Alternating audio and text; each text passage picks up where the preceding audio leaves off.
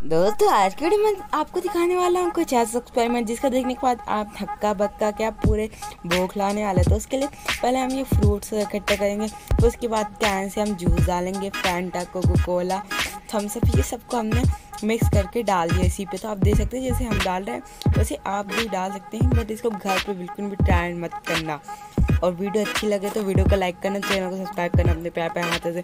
तो फिर इसके बाद हम इसको अच्छी तरह से मिक्स करेंगे, आप देख सकते हैं। हम ये छोटी छोटी बॉल फिर इसके बाद हमारे पास है मैंटोस मैंटोस के मतलब पाउडर डालेंगे। फिर उसके बाद हम इसमें पानी डाल के इसको अच्छी तरह से मिक्स कर लेंगे।